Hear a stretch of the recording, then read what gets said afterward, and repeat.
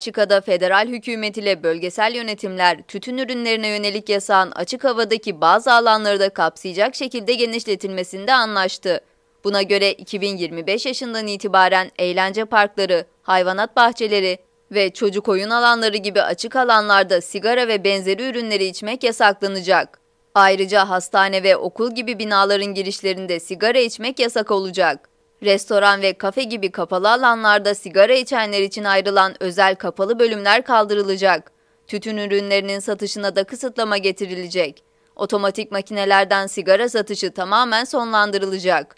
Ayrıca kafe, restoran, bar gibi işletmelerle festival gibi organizasyonlarda sigara satışı yapılamayacak.